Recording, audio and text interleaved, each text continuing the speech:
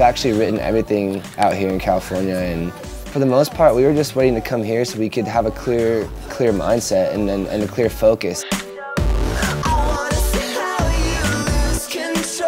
Our producer Ian Kirkpatrick, who we've been working with, we, we came and chilled with him and clicked like instantly. We popped out two songs, I think in like those first two days. If, we, if, if you want, we can actually come in go chill with Ian and see what he's up to.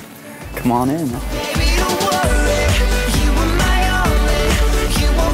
We're actually going to get into a little bit of recording right now, so if you guys want to just sit back and watch, you're more than welcome to. So, hope you dig.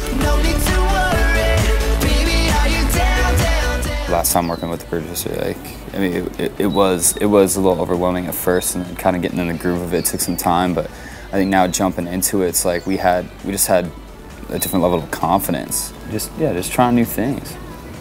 Yeah, I think we've always tried to do that. You know, just really like keep making it unique.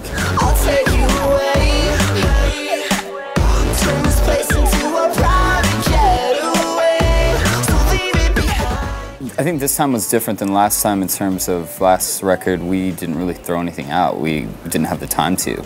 Well, at Fascination, we had a month and a half, and that, that was all we had. And this record, we've had coming close to three months to really focus on it. We based a lot of it off like first, very first impressions, first right. like first feeling, and there's one little idea we're like, oh my god, this is amazing. Let's make this super sick. That's when we'll go for it. But if it's like, it's cool, but why would we spend our time and energy when there's something that's just all right in our minds, and when we know something is amazing in our minds that we want to work on instead? So.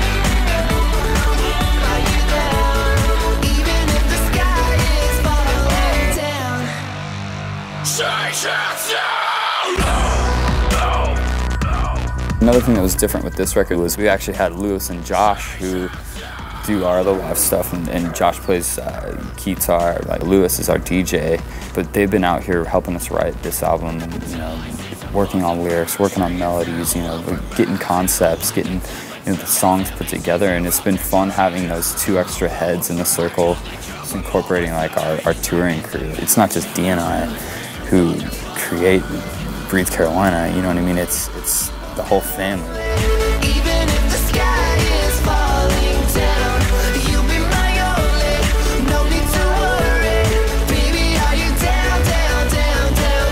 We like to think of our music as just like having a good time, you know what I mean? Like putting it in, bumping it up, and just jamming, just having having a good time. And that's what the main factor. That's what we wanted most is people to just be like, dude, having like a feel good vibe when you when you jam it, I guess. I hope that they walk away from it just like, dude, that was a fun record. Like that was fun. I had a good time.